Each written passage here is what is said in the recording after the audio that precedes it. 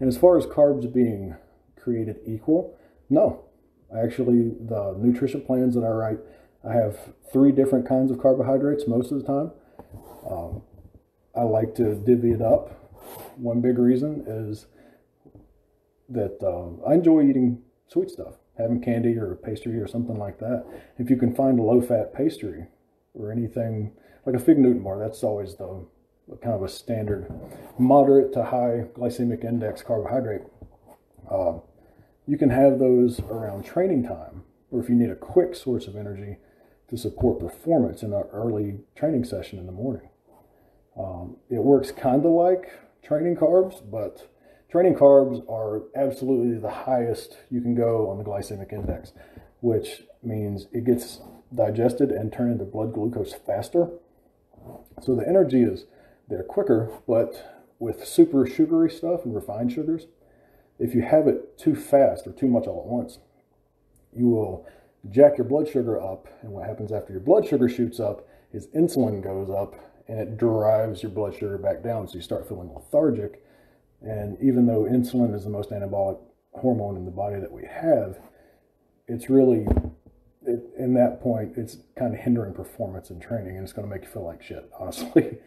But if you don't like those spikes or if you have sweet stuff and, you know, uh, even a little bit, sipping on your training shake during training, if that makes you feel lethargic, then maybe you need to have a lower glycemic uh, carb in general. Uh, a healthy carb that we'll have away from training is below a 55 on the glycemic index scale.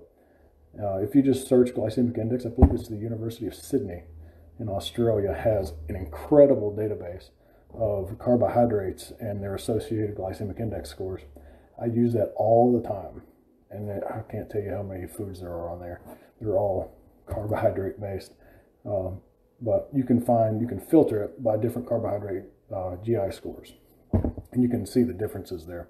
But basically, low GI carbohydrates, they're going to cause a slower increase of blood sugar, whereas sugary, super high GI carbs are going to cause spikes in blood glucose, and then the corresponding insulin response comes along after that.